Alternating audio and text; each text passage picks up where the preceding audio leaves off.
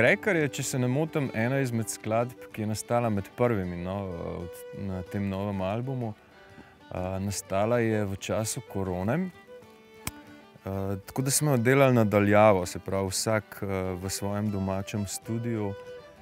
Um, in nikoli ne bom pozabil, kako je bilo na tisti vaji, ko smo se po parih mesecih uh, lahko spet dobili skupaj in smo zaigrali ta komat. In se mi zdi, da smo bili na koncu vsi tako nekako ganjeni, ker smo dojeli, kako lepo je, um, kako smo pogrešali to, da igramo skupaj in kako lepo je igrati skupaj z ljudmi, ki ti veliko pomenijo. Uh, tako da še vedno, ko ga igramo v živo, se velikokrat spomnim no, na, to, na te občutke.